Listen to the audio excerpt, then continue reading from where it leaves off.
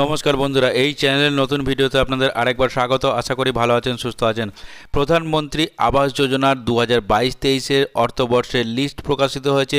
আপনি যদি অ্যাপ্লাই করে থাকেন, তাহলে সেই লিস্টটি বাড়িতে বসে কেমন করে চেক করবেন এবং কীভাবে চেক করবেন, সেটা আমরা সম্পূর্ণ এই ভিডিওতে স্টেপ বাই স্টেপ আপনাদের সামনে তুলে ধরবো।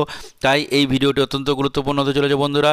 এই ভিডিওটি স্কিপ করে দেখবেন না, স্কিপ করে যদি দেখেন, তাহলে একটি স্টেপ মিস হয়ে গেলে আপনি বাড়িতে কেমন করে এই ভিডিওটি চেক করবেন, অর্থাৎ এই লিস্টটি চেক করবেন, সেটা বুঝতে পারবেন না। তাই আপনারা, আপনাদের কাছে একান্ত অনুরোধ, ভিডিওটি সম্পূর্ণ দেখুন এবং তাহলেই বুঝতে পারবেন যে আপনি কেমন করে এই লিস্টটা চেক করবেন।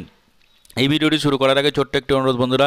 যদি আমাদের চ্যানেলে প্রথমবার ভিজিট করে থাকেন, তাহলে চ্যানেলটি সাবস্ক্রাইব করুন এবং পাশে থাকা বেল আইকনটি প্রেস করুন যাতে এই ধরনের ভিডিও আপলোড করার সাথে সাথে নোটিফিকেশান আপনার কাছে পৌঁছে যায়, একটি ভিডিও মিস না হয়। এই ভিডিওটি যদি ভালো লেগে থাকে, তাহলে এটি লাইক করুন এবং বন্ধুদের সঙ্গে বেশি বেশি করে শেয়ার করুন।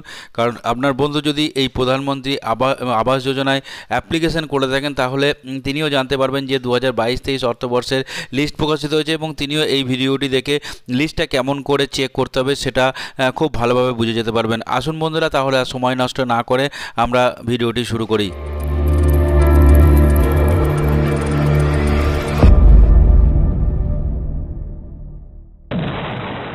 নতুন লিস্ট বাইশ তেইশ প্রকাশিত হলো।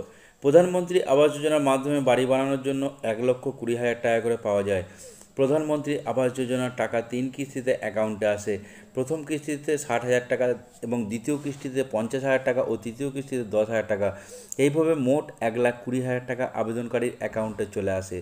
যারা পাহাড় এলাকায় বসবাস করেন, তারা পেয়ে থাকেন এক লক্ষ তিরিশ হাজার টাকা। কিন্তু প্রশ্ন হলো, নতুন লিস্টে আপনার নাম রয়েছে কিনা, কীভাবে আপনি চেক করতে পারবেন? অনলাইনে মোবাইলের মাধ্যমে। ইতিমধ্যে নতুন ঘরের লিস্ট দু হাজার বাইশ তেইশ তারিখে প্রকাশিত হয়ে গেছে। প্রধানমন্ত্রী আবাস যোজনা নতুন লিস্ট দু হাজার বাইশ তেইশ তারিখে কেমন করে চেক করবেন, সেটা এখন আমরা এই স্টেপ বাই স্টেপ আপনাদের সামনে নিয়ে আসছি।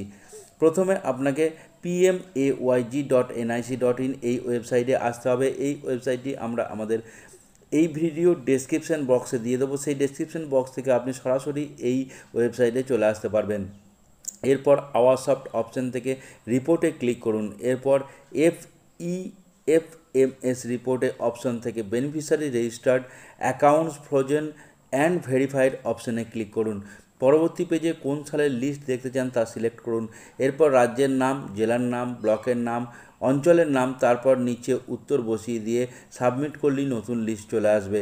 এরপর সেখান থেকে রেজিস্ট্রেশন নাম্বার নাম অ্যাকাউন্ট নাম্বার ভেরিফাই হয়েছে কিনা তা দেখতে পারবেন। এরপর রেজিস্ট্রেশন নাম্বারটি লিখে রাখবেন এবং পরবর্তী বা নিকটবর্তী অঞ্চলে গিয়ে যোগাযোগ করবেন।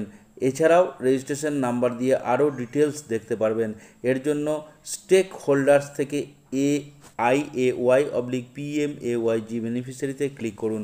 এরপর এখানে রেজিস্ট্রেশন নাম্বার বসিয়ে দিয়ে সাবমিট করতেই সমস্ত ডিটেলস আপনি দেখতে পারবেন।